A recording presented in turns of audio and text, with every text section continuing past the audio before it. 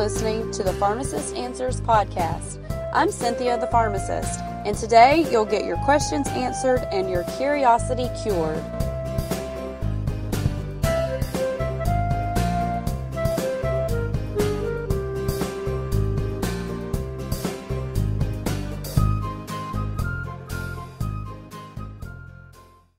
Questions that I've been getting now that kids are back in school and the weather's getting a little bit cooler is head lice. And so I say the word head lice and everybody just wants to go scratch your head because like the word lice just instantly means like everything starts itching, right? But there are some myths about head lice that we've probably been told by word of mouth and teachers at school freak out the parents and then people in all kinds of places start panicking. There's these news headlines that say super lice, and we just freak out and just like want to wear plastic bags on our heads for the rest of our life. So some of it's true, some of it's not. And maybe not everybody has kids, but I wanted to spread the word. So maybe if you have the knowledge that what's myth and what's actually truth, then you can help some people not panic. When they come and see you and be like, oh my gosh, they sent home this letter that says there's lice at school and blah, blah, blah, and everybody starts panicking.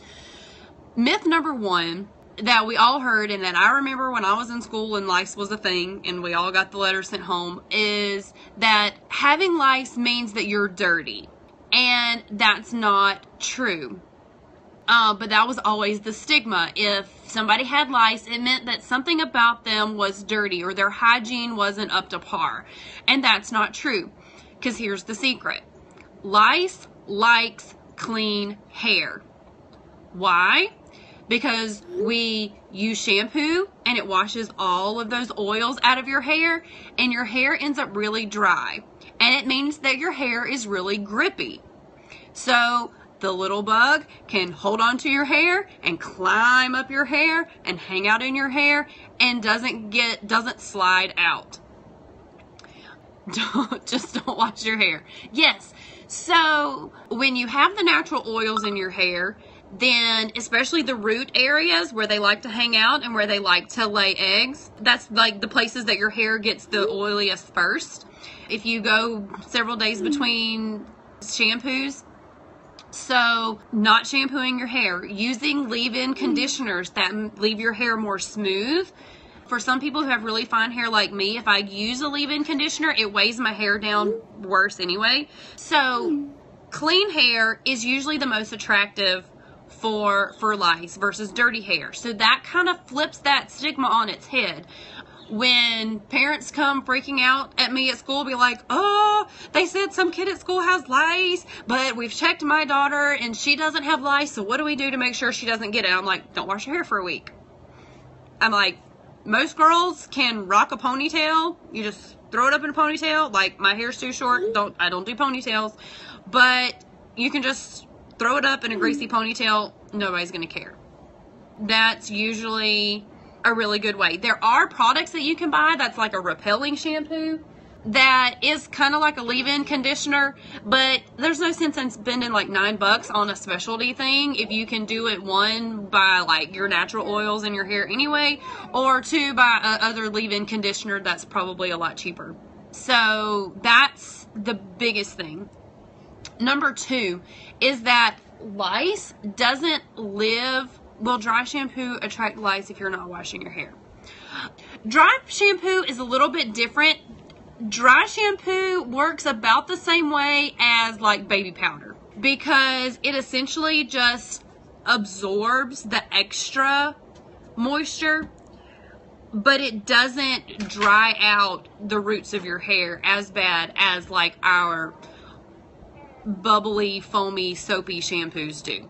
So where the dry powder shampoos are just absorbing the extra, but leaving the easy coating on your hair shafts, our liquid shampoos that we use with water, they're meant to trap up as much of the oil as they can and actually strips the oil away, which there's this whole shampoo, no shampoo kind of thing going on where like if you don't shampoo your hair long enough, then your nat- the natural oils in your hair will balance out and your hair will actually be cleaner rather than being really greasy. The same way with like face washes, the more you wash your face, your face kind of freaks out and tries to produce more oil because there is a balance in in the natural oils in your skin. And so your hair does the same thing the more that you shampoo your hair and you keep stripping those oils away, then your scalp is going to keep producing more. So the second myth about lice is that it can actually live for a long time off of your hair. And that's not true either. That's not good. It's not good at all. Lice requires that nice, warm, cozy place. Um, just like mosquitoes, it lives off of microscopic droplets of your blood. So it's not going to survive very long off of a human. So worrying about that lice is going to like hitch a ride on backpacks and hitch a ride on furniture that people may sit on or car seats or anything like that is not true because usually those things don't have prolonged contact with with your head and on a regular basis. So the places that lice like to hang out is the back of your neck at the bottom right here behind your head and then around your ears. The number one way that lice will spread is usually head to head contact. So that's like siblings sharing a bed sharing hairbrushes. Now, bugs aren't going to live on the brush from day to day, but for people who share hairbrush regularly, um, I brush my hair, then you brush your hair, so anything that falls out of my hair into the brush will then get in their hair easily by transfer. So the prolonged contact, which is usually your bedding, sheets and, and pillows, brushes, and then sleeping in the same bed together are going to be the way that they spread. But it's very unlikely that backpacks are going to carry them, car seats are going to carry them, furniture is going to carry them. So they don't live very long off of a human. The other thing is that your pets cannot carry lice. Lice are a human only parasite, so they spread from human to human, which is different from other parasites that like humans, like ticks and mosquitoes and fleas. Those type of parasites can be spread from pets to animals, but lice will not affect your animals and you can't catch lice from your animals. So that for some people is a comfort because you don't have to treat your cats and dogs for lice if you find out that it, that your kid has it or whatever. Again, in the panic of like, oh, lice, I've got to clean everything and burn everything and do whatever. Like, you don't have to treat your couch. You don't have to treat your carpets. You don't have to treat your car. You don't have to treat your pets because pets aren't going to transmit them. Whatever it is about what they like to eat and where they like to hang out, pets just aren't their thing you hear the headlines about super lice and people start freaking out. And when i hear that i'm i picture like godzilla sized lice like marching down the street and like tearing down buildings. But they're finding out because people freak out so bad when they get the note home from school even though it's not their kid that's infected and they start using all of these chemical shampoos that you can buy at the drugstore then the lice are starting to build up resistance.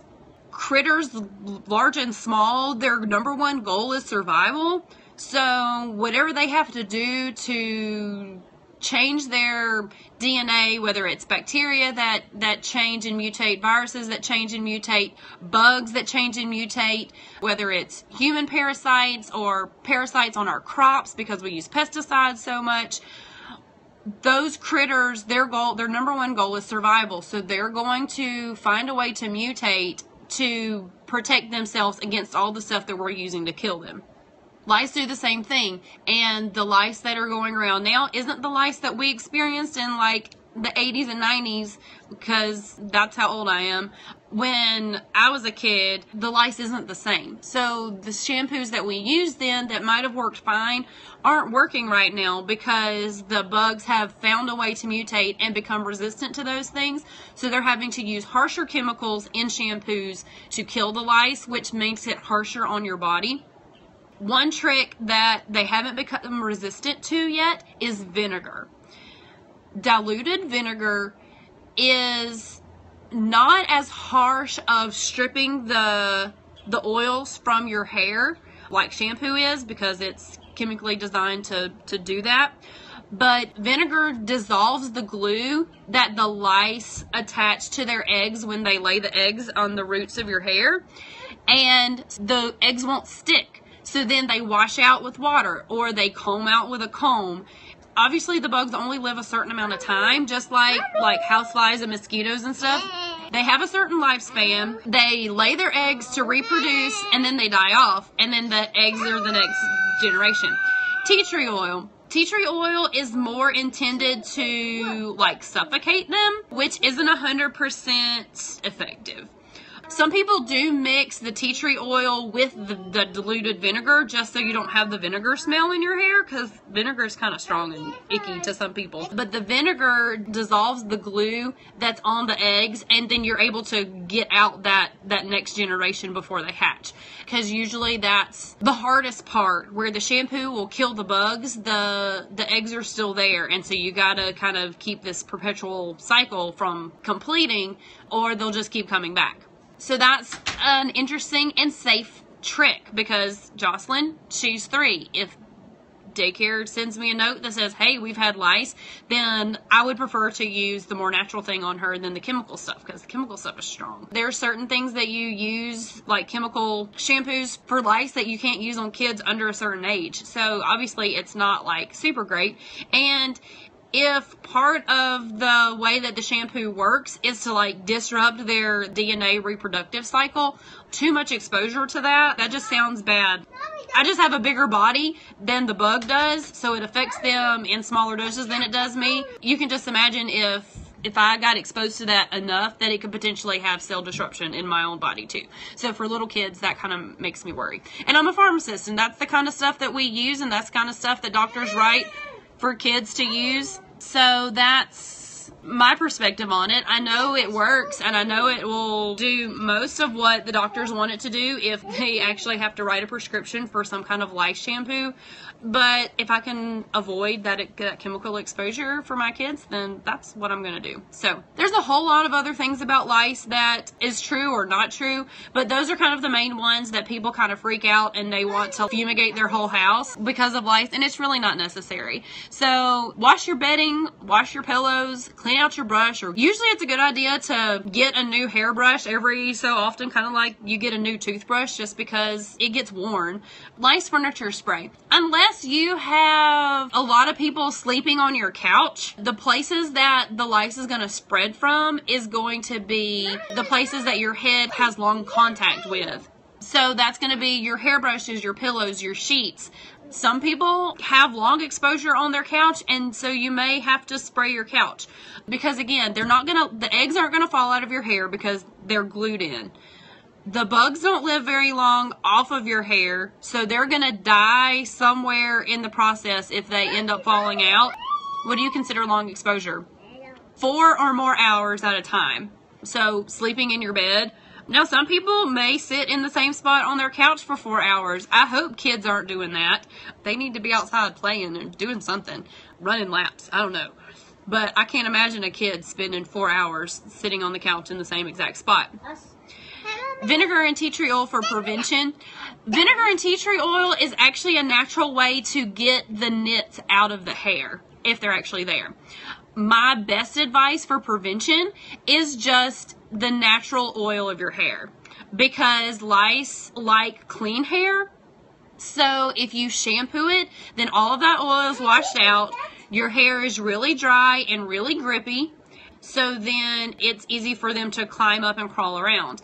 If your hair is oily, they can't get enough grip. So it sounds really extreme, but my advice to people so they don't have to buy a lot of extra stuff is forego shampooing for a whole week if they're worried about their kids getting it from their friends at school. And sitting beside people in school is not going to spread lice. Now, little kids, they come in contact with each other, and, you know, little kids are usually high contact people anyway, because that's how they play. And so, having some kind of preventative going on, if it makes you feel better when you send them to school, then that's great.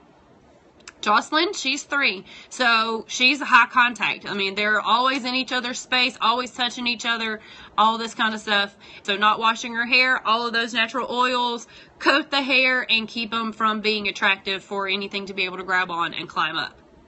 So the vinegar and the tea tree oil, is, again, is more of a natural egg ungluer because the vinegar dissolves the glue that holds the egg in, and then you can use those fine tooth combs and comb them out before they hatch. And sometimes, if there's actually a positive identification of signs of lice, it may take more than one go around of shampooing with the, the treatment or using the vinegar spray and combing and stuff just to make sure that all the generations are taken care of. Because again, they don't have an eternal lifespan. They don't live very long, but they, they live, they do their thing to reproduce, and then you got to make sure that you catch that next generation before it hatches out. So usually the spreading again is that prolonged contact with beds and sheets, siblings that sleep in the same bed, that share a bed, siblings that may share hairbrushes because it's easier for mom to have one brush instead of two so they're not fighting over whatever. There's other things that, that can spread it, but usually short contact at school, backpacks, car seats, temporarily used furniture, those are not going to be the things that cause it to spread. There's Jocelyn. Say hey. Hey. Now say bye. Bye. bye. Bye.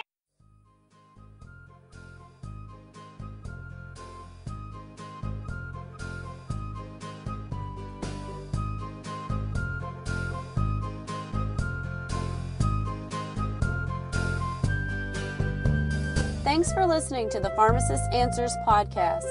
The pharmacy is now closed. You can post your questions and comments on our Facebook page.